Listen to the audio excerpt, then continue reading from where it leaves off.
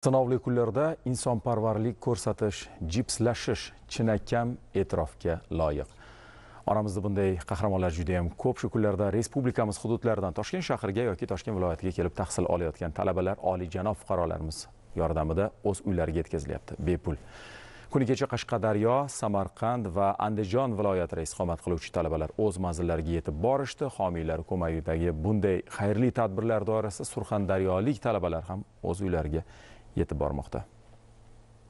Ma'lumki, shu kunlarda davom etayotgan COVID-19 virusi epidemiyasi tufayli har jabhada xalqimizga yordam ko'rsatish va yengillik yaratish asnosida Toshkent shahrida ta'lim olayotgan surxondaryolik talabalarimizga o'z uylariga eson-omon yetib olishi uchun Surxondaryo viloyati transport boshqarmasi tashabbusi hamda Termiz Sardor Trans mas'uliyati cheklangan jamiyati tomonidan zamonaviy ellik bitta yo'lovchiga mo'ljallangan avtobus bepul xizmat asosida yuborildi. Shu bilan birgalikda faqatgina talabalarni emas, balki ayni paytda Toshkent shahrida bo'lib turgan mazkur viloyatdan kelgan fuqarolarni tashkilotlar hisobidan manzillariga yetkazish ko'zda tutilgan. Transport boshqarmamiz tashabbusi bilan Toshkent shahrida ta'lim olayotgan e, talabalar va kam ta'minlangan oilalar uchun e, Termiz Sardor Trans mas'uliyati cheklangan jamiyat tomonidan Э, transport vositasi ajratilgan.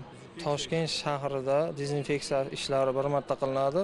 Keyin yo'l mobaynida dezinfeksiya ishlari bo'lmaydi. Bu termiz shahriga borib yana dezinfeksiya qilinadi. O'n bir soatga yetadi mo'ljallangan dezinfeksiya ishlar xizmatlari.